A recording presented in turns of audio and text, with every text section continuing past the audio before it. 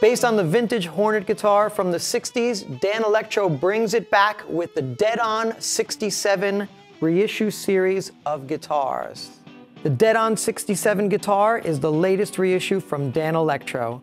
These guitars feature satin finishes and nickel hardware, truss rods adjustable at the headstock, the original swivel rosewood bridges that intonate, the Danelectro tremolo and split pickguard, and finally, souped up lipstick pickups. The Dead On 67 guitars come in striking finishes such as butterscotch, agent orange, cobalt blue, limey, and black and red.